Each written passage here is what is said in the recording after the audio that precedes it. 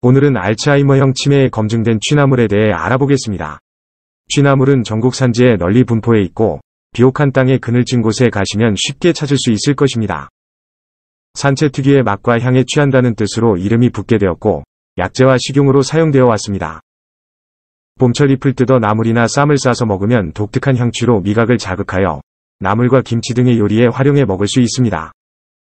참고로 취나물을 데쳐서 나물로 먹을 경우에 소금 한 스푼 정도 넣어주면 비타민과 영양소 파괴를 막을 수 있습니다.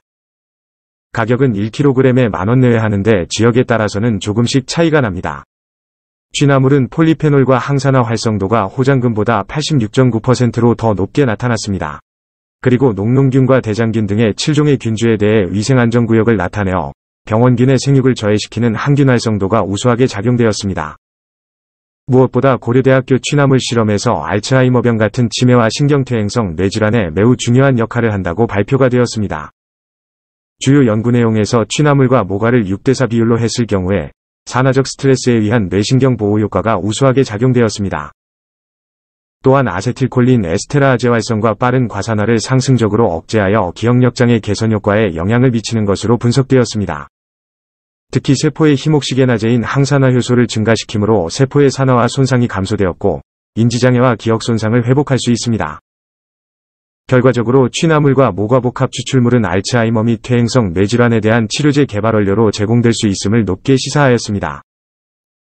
현재 실생활에 사용되고 있는 치매 약물 대부분은 신경전달 기능을 강화시키는 콜리네스테라제 저해제가 있는데 이는 병이 진행을 더디게 하거나 일시적으로 증상을 안정시킬 수만 있습니다. 그리고 최근에는 여러 소화기계 장애나 간독성 및 심혈관계 등의 큰 부작용을 초래하여 치매에 대해 부작용이 없고 자연에서 얻을 수 있는 천연식물의 아세틸콜린 저해제에 대한 관심이 늘고 있습니다. 치매에는 취나물과 모가를 산재로 만들어 6대4 비율로 배합한 후 하루 2, 3회씩 식사 30분 후 물에 타서 마시면 됩니다. 또는 물에 달이거나 환으로 만들어 먹어도 좋은 효과를 보게 되며 혈중의 지질성분이 축적되는 고지혈증에도 특효를 볼 수 있습니다. 만약 모가가 없을 경우에는 삼체분말을 5대5로 배합한 후 먹으면 더 좋은 효과를 낼 수 있습니다. 그 밖에 취나물은 비타민 A의 함량이 배추보다 10배나 많이 들어있어 간과 신장질환 및 시력 건강을 바로잡아 복합영양제로 손색이 없을 정도입니다. 취나물을 식용으로 사용할 때는 끓는 물에 2분 정도 살짝 데쳐서 가진 양념을 넣고 무치거나 볶아서 먹으면 좋습니다. 또는 취나물과 엉겅퀴 고사리를 배합하여 된장국을 끓여 매일 먹으면 암 환자들에게 좋은 건강식이 됩니다. 그리고 취나물을 건조시킨 후 차로 달여 마시거나 묵나물로 활용하셔도 되고 뿌리채 뽑아 깨끗이 씻은 다음 장아찌를 담궈 먹어도 매우 좋습니다. 취나물은 식이섬유와 영양소가 풍부해서 소화력이 허약한 사람들은 위장에 부담을 주게 됩니다. 또한 몸이 찬 사람은 많이 먹지 않는 게 좋으며 배탈과 설사가 잦은 사람도 주의하셔야 합니다.